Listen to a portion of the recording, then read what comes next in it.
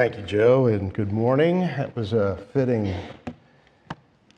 text for our text. Ephesians chapter 5, verses 3 through 14. This is a section of Scripture where Paul is applying the doctrines that he gave in chapters 1 through 3 to the daily walk, the Christian life. And he continues that in our text, beginning with verse 3. But immorality or any impurity or greed must not even be named among you, as is proper among saints. And there must be no filthiness and silly talk or coarse jesting, which is not fitting, but rather giving of thanks. For this you know with certainty that no immoral or impure person or covetous man who is an idolater has an inheritance in the kingdom of Christ and God. Let no one deceive you with empty words, for because of these things the wrath of God comes upon the sons of disobedience. Therefore, do not be partakers with them. For you were formerly uh, darkness, but now you are light in the Lord. Walk as children of light. For the fruit of the light consists in all goodness and righteousness and truth, trying to learn what is pleasing to the Lord. Do not participate in the unfruitful deeds of darkness, but instead even expose them. For it is disgraceful even to speak of the things which are done by them in secret. But all things become visible when they are exposed by the light, for everything that becomes visible is light. For this reason it says, Awake, sleeper, and arise from the dead, and Christ will shine on you. May the Lord bless this reading of His Word and bless our time of studying it together. Let's bow together in a word of prayer. Thank you, Elizabeth. I almost forgot I have to preach. that piece is one of Johann Sebastian Bach's best known and beautiful pieces, Sleepers Awake. And what a pleasant piece of music to wake up to every morning. Actually, that's not its purpose. The whole arrangement is a choral piece, it's a hymn. Um, beautiful as it is, is intended to arouse the saints from spiritual indifference to watchfulness, to vigilance and preparation. We find this call to awake all through the Bible. In the prophets of the Old Testament, in the parables of the Gospels, in Paul's epistle to the Ephesians. It's how, how, how Paul ends our passage this morning awake, sleeper. That's the portion of the book. This is, as I said at the beginning, uh, as we read through it this morning, where Paul's instruction is given on Christian duty, on Christian behavior, on how we are to walk in this world. In the previous verse, Paul told the Ephesians to walk in love. And, he explained that as self sacrifice. Well, now in verse 3, Paul turns from urging self sacrifice to warning against self indulgence. He begins in verse 3 by warning against immorality and avarice, sex and greed, Immorality, the Greek word for that that's used here is porneia. And you get a sense of the seriousness of that word and that warning because we get our word pornography from it. In fact, the New Testament scholar F. F. Bruce criticized translations of this word with words like immorality or unchastity. He said those translations are mealy mouthed. It's much stronger. it's fornication. The great city of Ephesus offered citizens and visitors lots of opportunity for that. With its brothels and pagan temples like the Temple of Diana, one of the seven wonders of the world, and its ritual prostitution. But Paul informed the Ephesians that such conduct is not proper among saints, among sanctified ones. In fact, he wrote that these vices must not even be named among you. Now, you might think, well, well, of course not. Obviously, fornication, visiting brothels, immoral behavior of any kind is, is, is absolutely forbidden. It would seem to go without saying. But it was not so obvious in the Gentile world, of which Ephesus was a big part. This was common behavior and largely accepted among them, as it really has become in our own post Christian, neo pagan world. It's a very easy thing to become accustomed to bad behavior when surrounded by it, become tolerant of it, even accepting of it. The English poet Alexander Pope had an insightful line in his essay on man. He wrote, Vice is a monster of such frightful mien that to be hated needs but to be seen. But seen too oft, familiar with her face, we first endure, then pity, then embrace. America has embraced the monster. These warnings are as much for us today as they were for the saints two millennia ago. As Paul will warn, sleepers awake, because it's easy to drift, it's easy to fall asleep, it's easy to conform.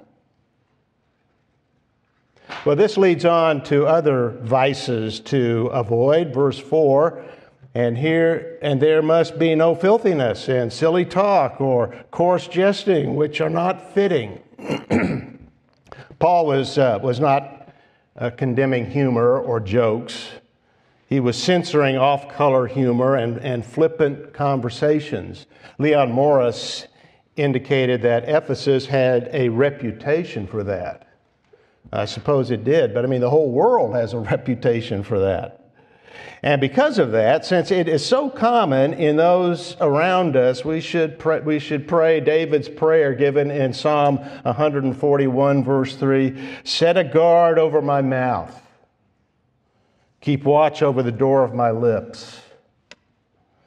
But typical of Paul, he follows up his prohibition with positive counsel. That's always really the best solution to bad habits. Replace them with good habits. Fill, fill the vacuum, vacuum with, with uh, something edifying. Instead, here of practicing coarse jesting, Paul's altern- alternative is giving thanks. And that's a good alternative. Christians have much to be thankful for, from eternal life to our daily bread. Everything that we have is a gift from God. Every breath you take, as Daniel told King Belshazzar that night of his banquet, the last night of his life, with just a few moments left to live, that God, who he dishonored, is the one who has in his hand every breath you take. Everything about our life, every moment of our existence is a gift of the sovereign God. And so we should be men and women who are thankful every moment. That should be our attitude.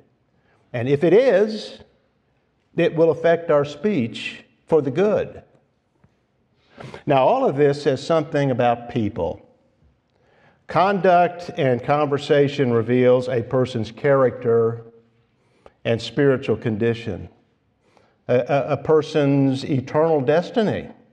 Paul says that plainly in verse 5 For this you know with certainty You know this with certainty, he said, that no immoral, again, that's that word porneia, this pornos here, or impure person or covetous man who is an idolater has an inheritance in the kingdom of Christ and God.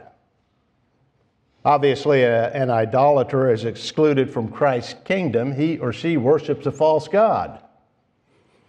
And all three vices here are forms of idolatry.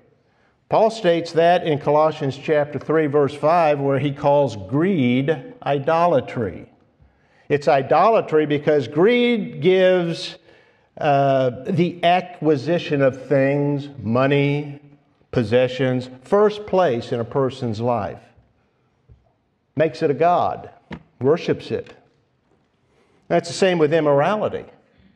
A person who, who pursues pleasure, who lives a self indulgent life without repentance, who is characterized by unclean behavior, shows no sign of new life. A person who is not born again does not have an inheritance in the kingdom of Christ and God. But that's the clear teaching of Scripture. John 3, verse 3 Jesus answered and said to him, Truly, truly, I say to you, unless one is born again, he cannot see the kingdom of God. That's grace. That's free grace. No one can earn the kingdom of God. It's all of God through His gracious power of regeneration, being born again. But a new life will manifest itself in both speech and conduct. That's what Paul was telling the Ephesians. Now, of course, he didn't mean that Christians do not sin or do not fall into serious sin or even languish in sin for a period of time. A great example of that is David. Mike's teaching on David. And we're in those early years of David's life. He's about to slay the giant. It's this amazing thing that takes place, and he becomes king of Israel, the greatest king of Israel. But he fell into sin. Even David fell into sin and languished in that sin for a while. He wrote of that in Psalm 32. We do too. We struggle spiritually every day. Every day. That's the teaching of Scripture. That's the teaching of Romans 7, verses 14 through 25, where Paul gives the struggle of his spiritual life. The Apostle Paul not doing the things that he wants to do and knows he should do. It's Galatians 5, verses 16 through 21.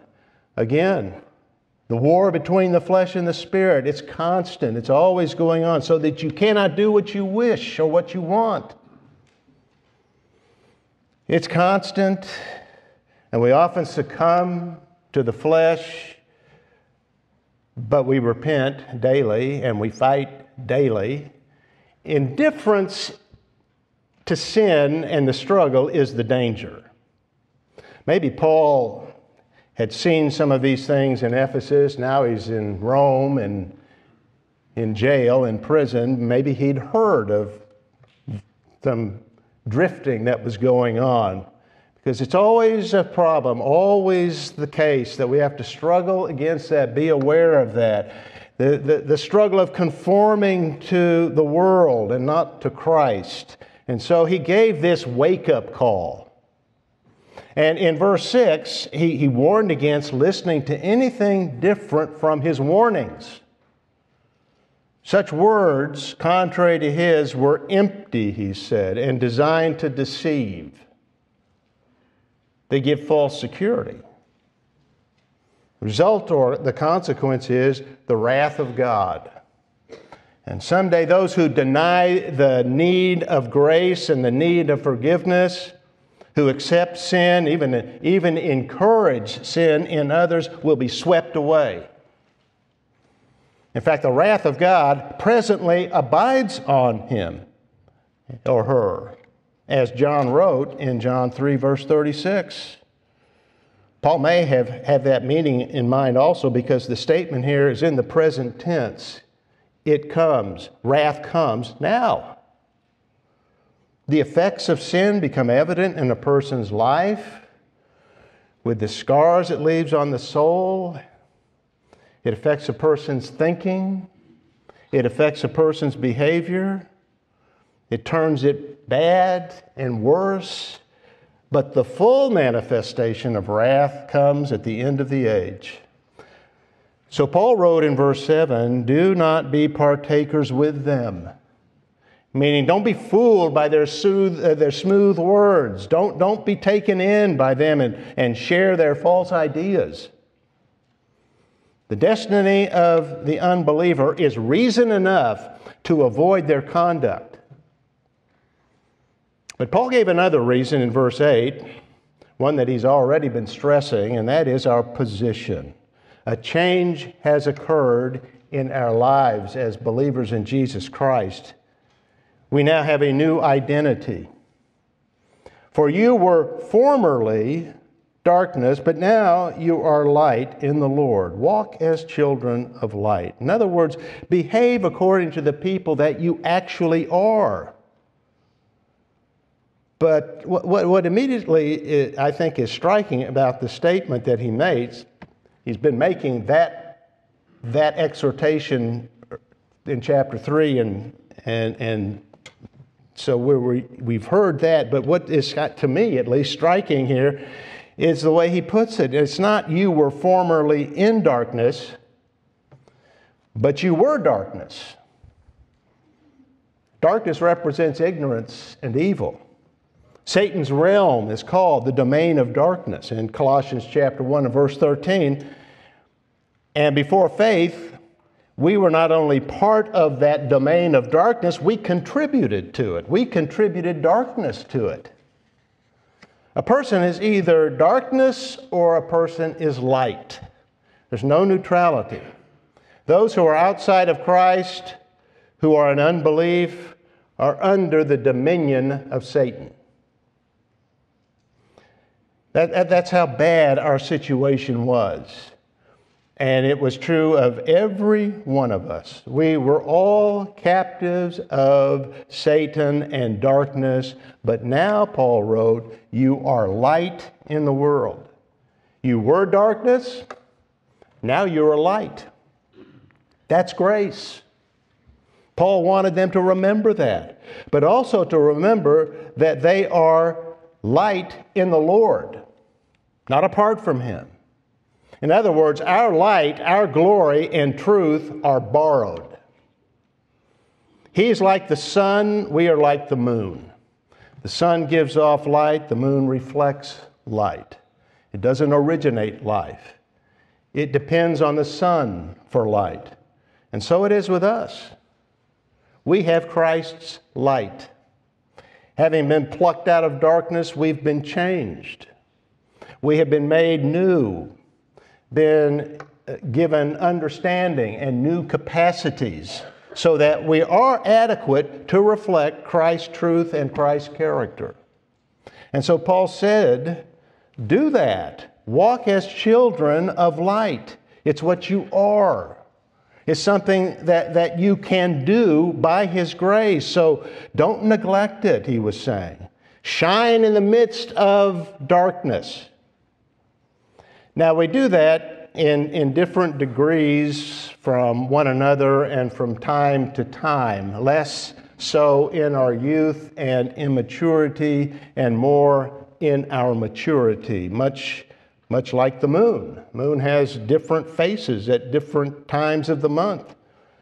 It, might shine brightly at night, like, like a full moon, uh, or partially as a half moon but the moon reflects the sun's light, and God has made us to reflect Christ.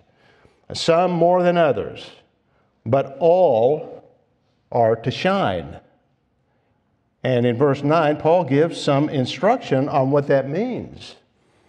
Uh, of, of what should be seen in us as we shine as children of light, the characteristics of the, of the Christian life. He, he speaks of it as fruit.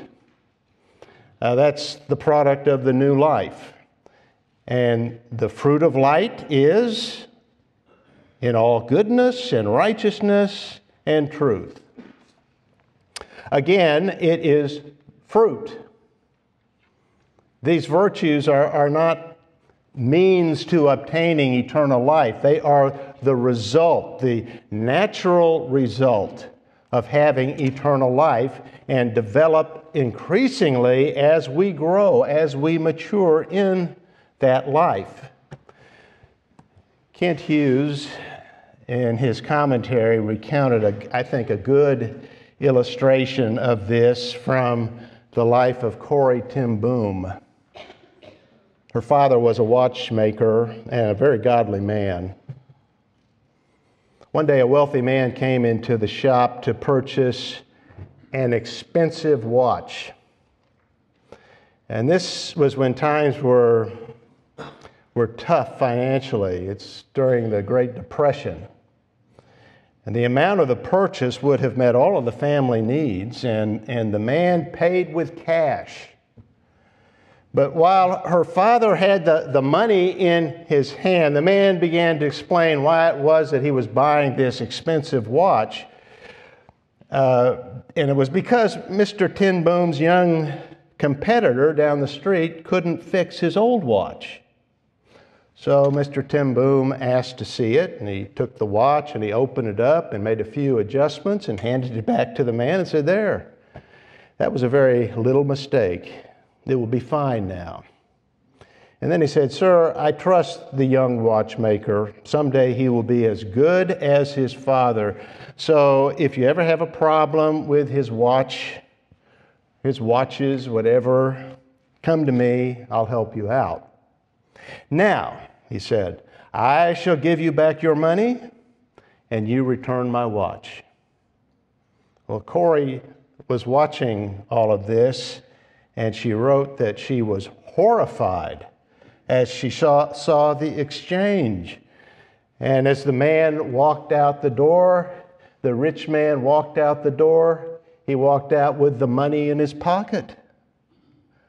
And so when the door closed, she gave her father a piece of her mind only to be corrected by his patient response, he looked over his steel rimmed glasses and asked, Corrie, what do you think that young man would have said when he heard that one of his good customers had gone to Mr. ten Boom? Do you think that the name of the Lord would be honored? As for the money, trust the Lord, Carrie the Corrie. He owns the cattle on a thousand hills, and He will take care of us. Well, I read that, I thought, Proverbs 22, verse 1 a good name is better than riches. Maybe he had that on his mind, but I don't think so. I think that this response was simply the fruit of light, the natural response of one who's born again. Those, those who have a new nature are new, a new creation in Christ.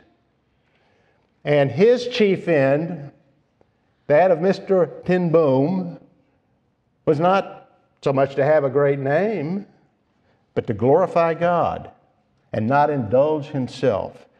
It's natural, I say, for a child of God. It's natural for one who's born again, who has a new nature it's natural, but it, it, it, develops through God's Word and the knowledge of the truth, the knowledge of light.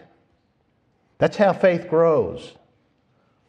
And, and through gentle correction, the kind that He gave to His daughter.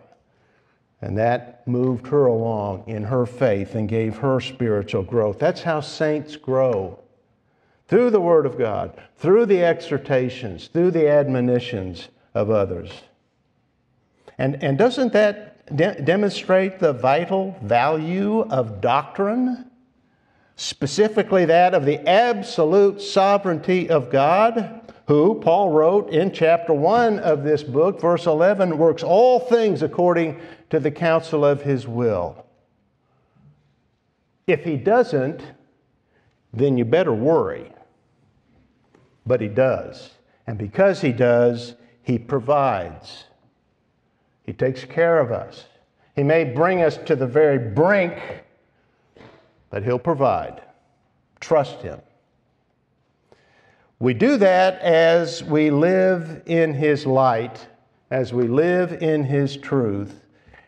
The moon doesn't reflect the sun's light when it's out of the light, when it, when the sun is on the other side of the earth and there's a lunar eclipse.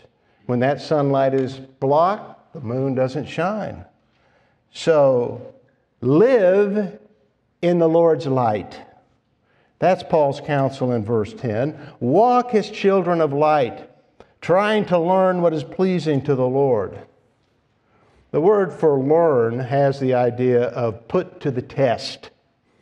In other words, don't, don't accept things, uh, uh teaching uncritically. Put things to the test. Put, put uh, what you learn to the test that it be true. Use good judgment. That, that requires a knowledge of Scripture. Uh, testing, teaching with Scripture. It's what the Bereans did. You go to Acts 17, and Paul goes to Berea, and they were these uh, high minded, lofty minded people because everything he said, they looked through the Scriptures to make sure it was so and found that it was. Well, that's what Paul was urging here because whatever passes the test of Scripture is good. Whatever passes the test of Scripture is pleasing to the Lord. Now, since we are to please the Lord, to live as light and produce the fruit of light, it follows that we're to have nothing to do with darkness. Paul said that in verse 7, but he repeats it here in verse 11. Do not participate in the unfruitful deeds of darkness. Notice, Paul wrote of avoiding the deeds, not the doers of the deeds. Paul was not advocating separatism from the world. Christ didn't separate himself from sinners. He was a friend of tax gatherers and sinners. He went where they were. He ate with them. He got to know them. And he was criticized by the Pharisees for doing it. Their criticism amounted to guilt by association. But the Lord wasn't guilty of any deeds of darkness, nor did he support such deeds. He was pure and brought light into the darkness and in doing that, exposed their sin by the purity of his life and the truth of his words. And the result was many followed him. All who were called did. And that's what we're to do. As we associate with people, they should, they should see something different about us, something virtuous and uncompromising, not self righteousness, but righteousness. They should see the life of Christ shining through us. And that life will expose their life. J.B. Phillips paraphrased this Let your lives show by contrast how dreary and futile there these things are. Now, that's the idea, but not the whole of it. There are occasions that call for a verbal response, for saying that something is wrong and, and calling sin what it is. To ignore evil is to encourage it. Sometimes we don't expose sin because we don't take it very seriously. Paul took it seriously. He wrote, It is disgraceful even to speak of the things which are done by them in secret.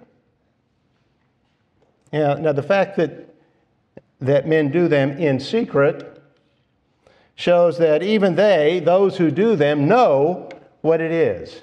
Know that it's sin, know that it's shameful and shouldn't be seen. They try to hide their evil. But nothing can be hidden. Paul said that in verse 13. But all things become visible when they are exposed by the light, for everything that becomes visible is light. Wherever there is light, darkness is dispelled. And wherever the light of Christ shines in the lives of his people or in giving the gospel, error is exposed, and things become clear. The, the last phrase, everything that becomes visible is light, uh, may mean that, that, that people whose sins are exposed by the gospel are brought out of the darkness, are converted, they become light. It's a difficult text, but it, it certainly means that through the light of Christ in the gospel and the Word of God, we, His church, expose sin and unbelief. The, the passage concludes with Paul giving an exhortation to do that in verse 14, and he exhorts them with a quotation. For this reason, it says, Awake, sleeper, and arise from the dead, and Christ will shine on you. The source of that quote is not certain. Some have suggested this may have been taken from a early Christian hymn, or more likely, it's a paraphrase of an Old Testament passage like Isaiah chapter 60, verse 1 Arise, shine, for your light has come, and the glory of the Lord has risen upon you. Or it could be a combination of various Old Testament verses. But the, the call to wake up is common in Scripture. And the meaning is clear. Christians are to be alert and active. We are to shake off indifference to the things that are moral, to the things that are spiritual. Shake off indifference. We are light and are to be walking as children of light. Spiritual lethargy, spiritual laziness is really worldliness, and it renders the Christian and the church weak and ineffective. Satan can't steal our soul. You are secure in the Lord. Every believer in Jesus Christ is eternally secure. John chapter 10 makes that very clear. We're in the Father's hand, we're in Christ's hand. We're in both their hands. We are secure and no one can pluck us out. Satan cannot steal our soul, but he can steal our strength and our usefulness. In 1938, Winston Churchill published his speeches given over the, the decade in a book that was titled While England Slept. It was a series of warnings about a growing danger in Europe. World War I, known then as the Great War, ended in 1918. It had been a catastrophe. Citizens of England and the, the leadership of England were exhausted. They couldn't imagine another nightmare like that that was the Great War. But one man on the continent wasn't exhausted. He was eager to reverse the fortunes of war and expand his Third Reich across Europe. He was rearming while England slept. No one listened to Churchill. They didn't want to. They settled for appeasement, compromise, the result, you know, was a second war far greater than the first one. There have been times when the church was vigorous, grounded in the truth, active and triumphant. The early chapters of the book of Acts are an example of that. They, they reveal a vigorous young church, but then comes opposition. It will always come when the church is pure and strong and active. The early chapters show that. Then the evil one begins to work. He always works when he sees us in a healthy, active condition. And he's always rearming. He's always shooting his fiery darts. We'll come to that in chapter 6. So it wasn't long before the early church became factional, divided, sectarian. False teachers arose from within. There was opposition from without, from priests, philosophers, and the state. It's all in the book of Acts, and, and it is a pattern throughout history. First success, early success, is not final success. That won't come until the Lord returns with a sword and sets up his kingdom. Until then, the devil is active. He's always active. He prowls around like a roaring lion seeking someone to devour. He's not been bound. He is out there and active, and the devil never sleeps. But the church does.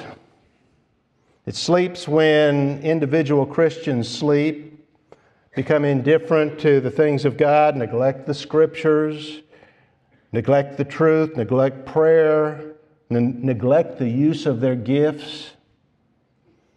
It happens when we, we fail personally to learn of the Lord and His ways, or fail in our duties to each other and don't consider how to stimulate one another to love and good deeds, as the author of Hebrews urges us to do in chapter 10, verse 24. When the Word of God is neglected, the church is weakened and drifts and sleeps. And so, to prevent that from occurring in Ephesus, or to arouse those who were sleeping, Paul wrote, Awake, sleeper, and arise from the dead, and Christ will shine on you. Now, that, that might appear to be uh, addressing non believers. The language fits that. Arise from the dead. But the context doesn't fit that. Paul is writing to and addressing believers, he's telling them to awake.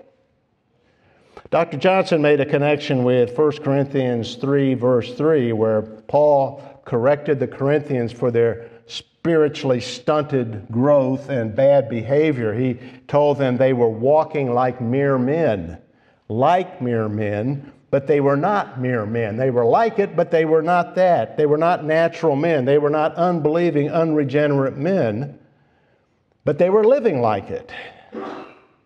He told them that they were fleshly, and, and all to correct and change their behavior. Believers respond to that.